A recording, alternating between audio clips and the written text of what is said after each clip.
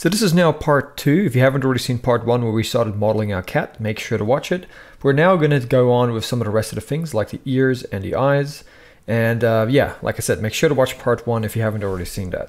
And just one more quick thing, if you do get stuck and the modeling part of this tutorial is just too tricky for you, I am going to be providing for free in the description below the finished model so you can follow on from the modeling bit.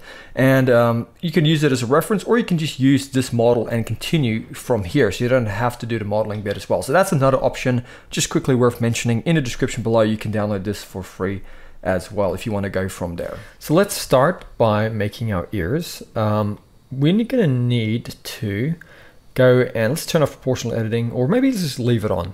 Okay, we're going to go to our face select option and let's go to our right orthographic view. Let's go into X-ray and we want to select one up. So let's select these guys here. So four faces going down like so. Actually, let's make that three faces because if we extruded this middle face, we'd have some issues because it'd all be one ear. So let's just grab these three faces over here, okay? And in our front orthographic view, let's just go E to extrude and then S to scale slightly. And let's just move it up here roughly to match the ear. And let's go to our right orthographic view. And to make it match a little bit better, we're gonna go over here to our edge select and let's select this middle edge over here. And holding in shift, select the one at the back. And we still have proportional editing. So in our right orthographic view, Let's just go and enable um, X-ray. Let's just move this back so it kind of matches the ear, as you can see there. And let's grab this corner here of the ear. Let's go G and let's move that back so it kind of matches the reference. Okay. And then what we're going to do is we're going to go Control R, roll in an extra edge, double click. And now in our front view, let's go and just select this vertex here like I said, doesn't really matter. You can go into wireframe or the um, X-ray. We're just going to bring these verts at the top closer together. Kind of bring them all together like so. And then we're going to go Control R, add in a loop over here, and then bring this vertex out, this one over here.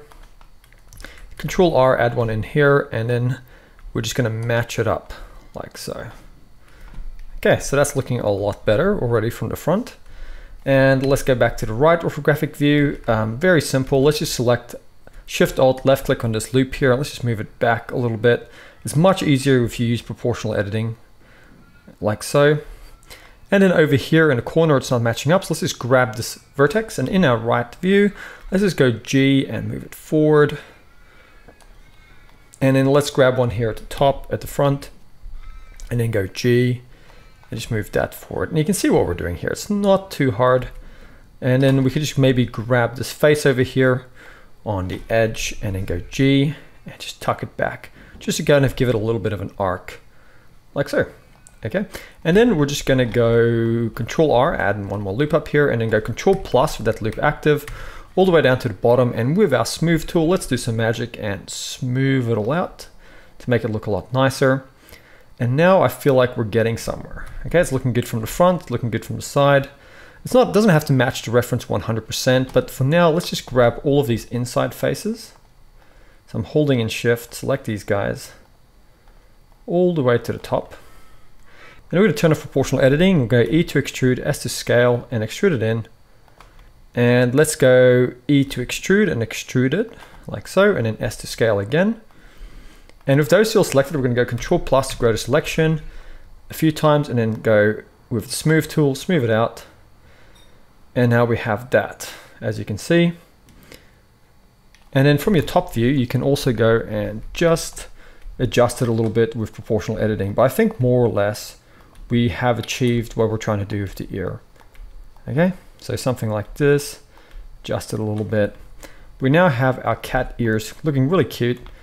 I might just grab this over here, bring it in a little bit, and a little bit more adjustment from the front. But really at this point, I wouldn't go overboard with the details. You know, like I said, it doesn't have to match the reference 100%. The reference is just there as a general guide for when we're doing our modeling. Yeah, so I'm gonna grab this vertex, maybe just sag this in just a little bit here in the inside. Okay, so I'm going to leave it at that for now. Let's see if we can add in the eyes. So let's go back into object mode. Shift A, let's add in a UV sphere. Uh, let's right click and go shade smooth. And let's go G and move that up and then S to scale it. And let's make it probably about this big. And in our right view, we're gonna go G, Y, and just move it forward till it's sitting right about here in our, um, in our 3D space. So not too far out, not too far in, just about here. And then tab into edit mode and go RX90, just set a point this way.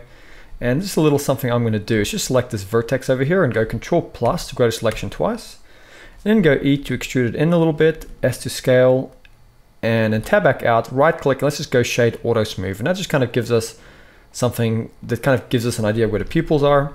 And let's give this a mirror and let's go to our eyedropper and select a cat as a reference. And uh, yeah, now it's just a matter of positioning these. Looks a bit creepy. I don't really like it at the moment. So I'm just gonna maybe grab these and scale them just a little bit. That looks worse. Maybe make them a bit bigger. Okay, that looks better. So just want to make sure things match up. But these eyes are just kind of like a placeholder anyway. Okay, something like that. Looks cool. So now we're gonna go back, selecting our cat, tab into edit mode. And let's select our edges running along here. And let's go G, move them back a little bit. And then we're gonna go E to extrude, extrude them out like so, S to scale slightly. And then we're gonna go E to extrude, S to scale like so. And then in our right view, we're gonna go E to extrude and extrude them in.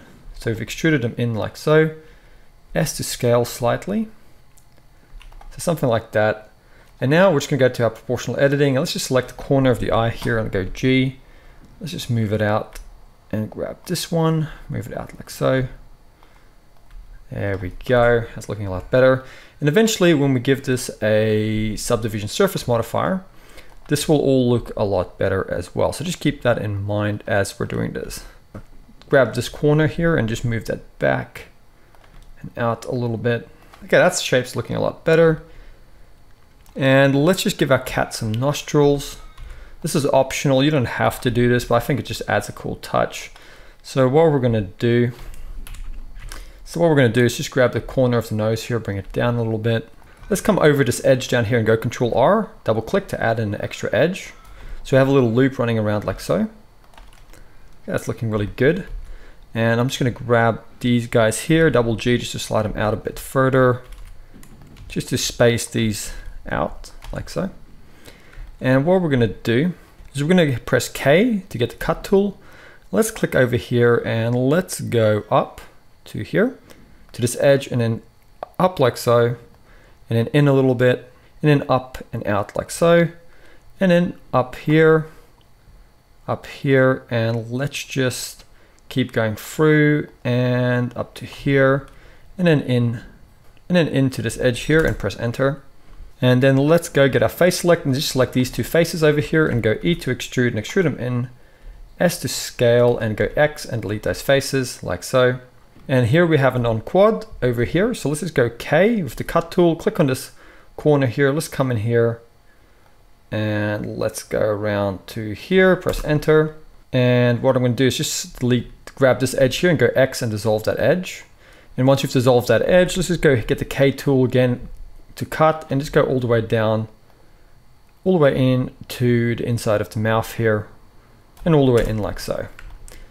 And then let's grab this X and let's just dissolve this edge here and go K and let's just make it go across like so.